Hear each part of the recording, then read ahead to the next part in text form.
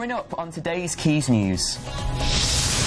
The Manchester Velodrome plays host to a cycling world record event. The first ever cereal cafe opens in Manchester. And we go along to the coolest place to open in the region this year.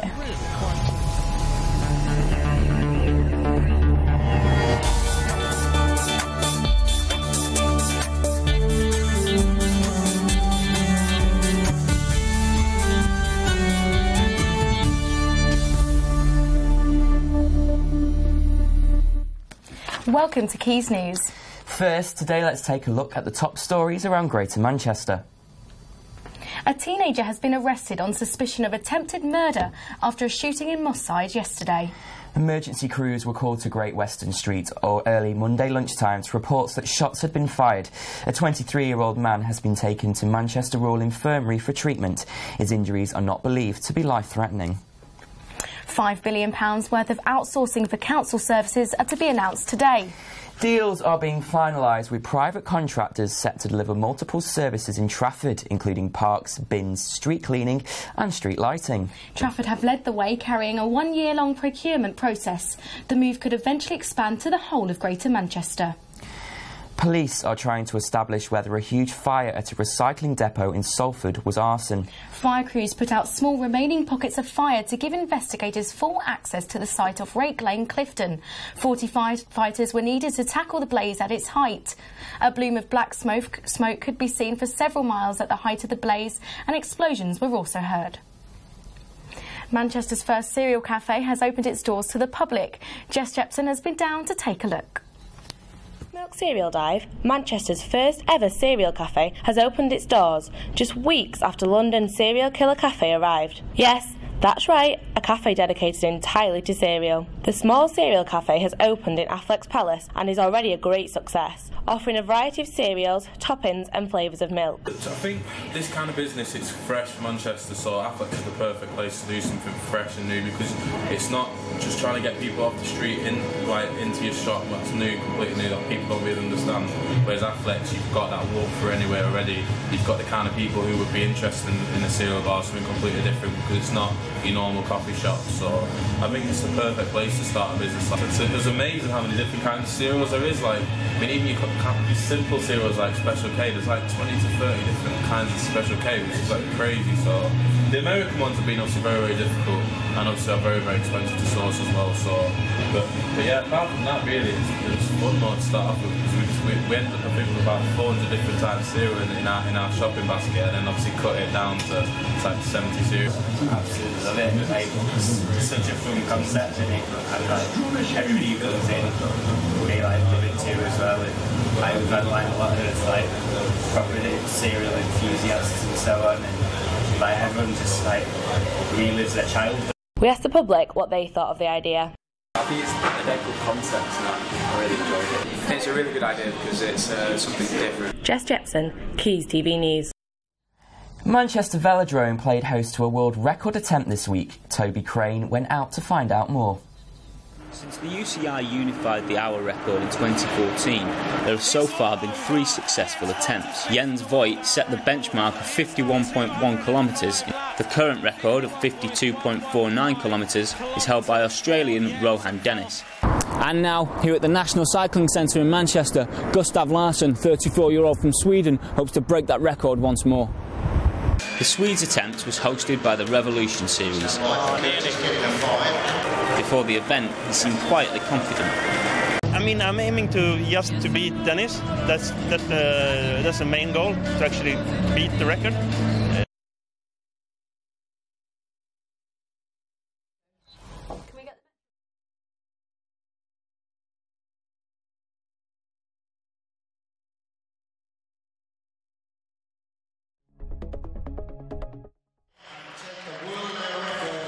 Though the road time trial specialist started well, his lack of experience on the track showed early.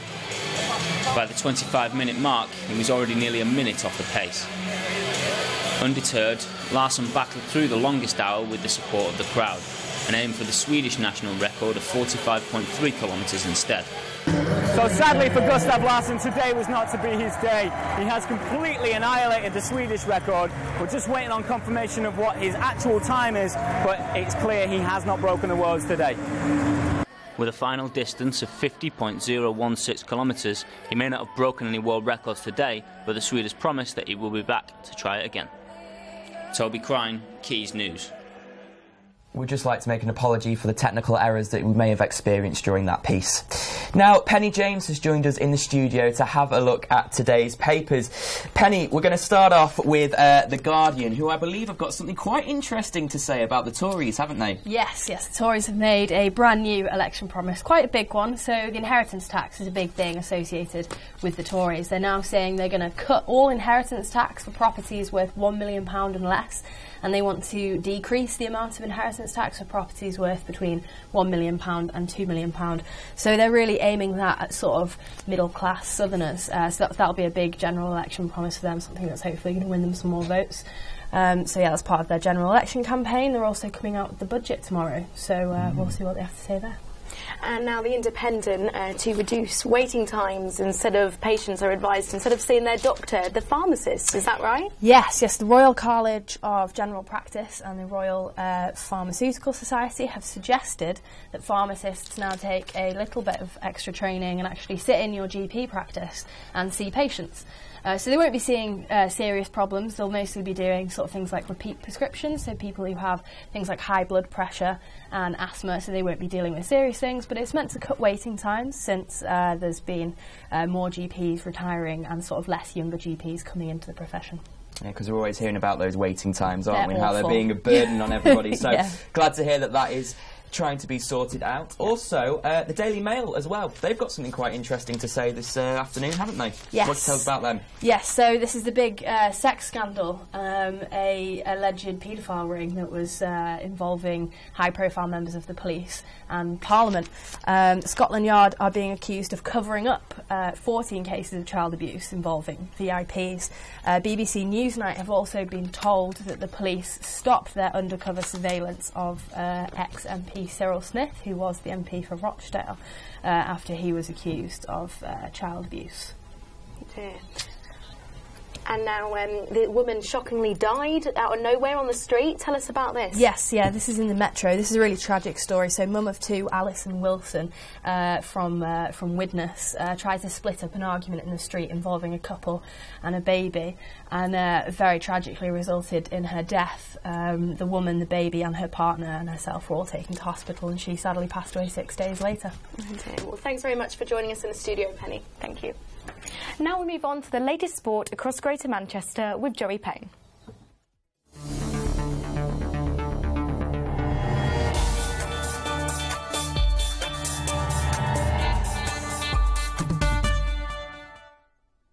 Good afternoon. It was another crucial weekend in Manchester's non-league football scene.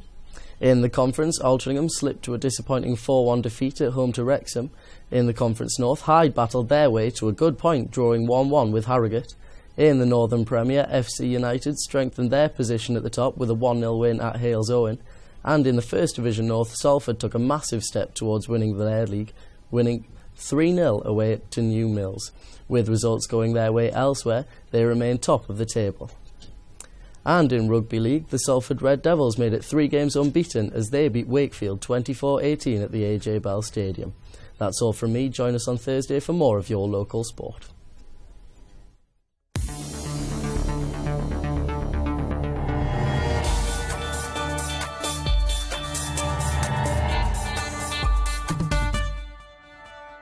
Now, if you're popping into Manchester city centre over the next couple of days, there is an interesting new bar opening in Spinningfields. Andy Riley went to have a closer look at the coolest place to open in Manchester this year. Spinningfields, Manchester, home to the city's very first ice bar. So, once you've uh, been outside and you've managed to get yourself your wristband and you've put exactly how much you want on there, then you come into this lovely warm area for half an hour or so where they have some really quite tasty fruit based cocktails. Before you head into the main ice bar, let's go in and see the ice itself.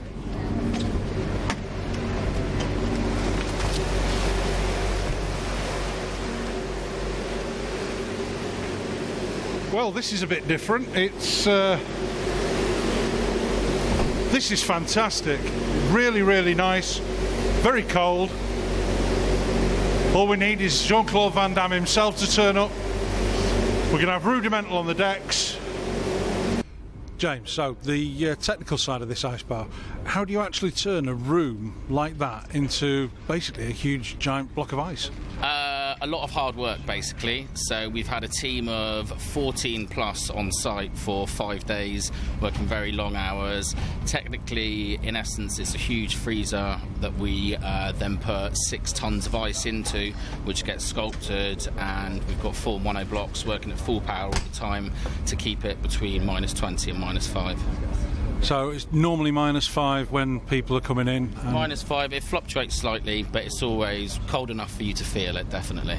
Fantastic. It's a great area for it, to, uh, you know, for it to be placed. Um, I think it'd be really receptive for the guys in the area. Well, we've been wanting to come for a long time. We've heard about it on the radio, and We're really said- excited to see how cold it is. We've heard that there's a, an ice wolf inside that we can sit on, so we're really excited about sitting on the wolf So and getting our picture sit on it. taken. Yeah, yeah, Yeah. yeah, definitely. Yeah, it looks fantastic. Uh, it's great in a great location, Spinningfields, part of the the uh, the city. So, yeah, definitely I'll be popping in to have a drink or two. Andy Riley, Quays News, freezing. Now, David Barker is here with us today to give us his review on the second best exotic Marigold hotel.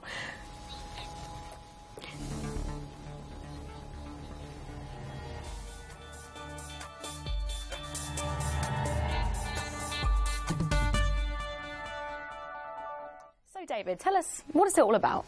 So the second best exotic marigold hotel sees that the original hotel is um, full to capacity pretty much. You know, it's that much of a roaring success. So Dev Patel, the owner, and his new business partner Maggie Smith look to go and get funds to create a second best of marigold exotic hotel.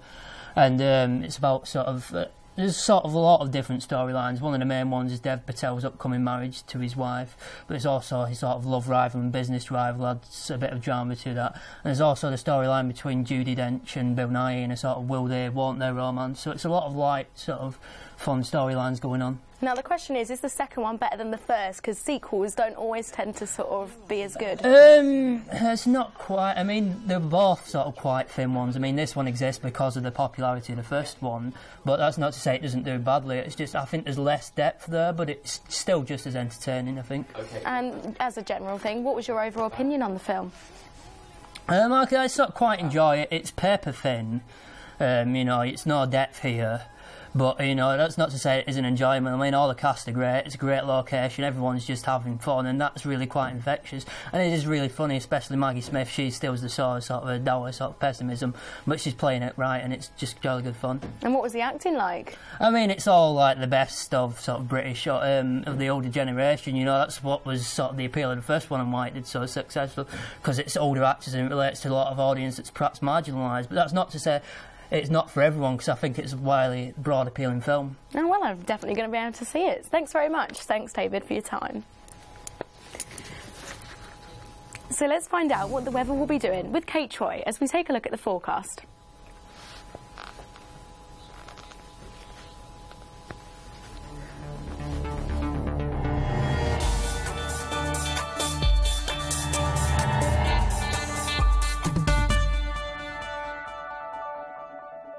It's a grey and drizzly start to the week, unfortunately, but there is still room for a little bit of sunshine as we move further on into today.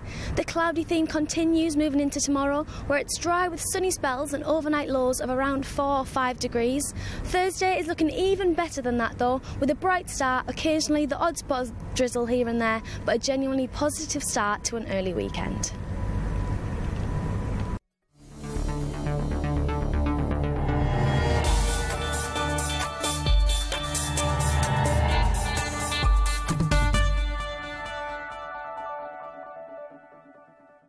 We have some sad but breaking news to bring you this lunchtime. A man has fallen to his death from the roof of a shopping centre car park.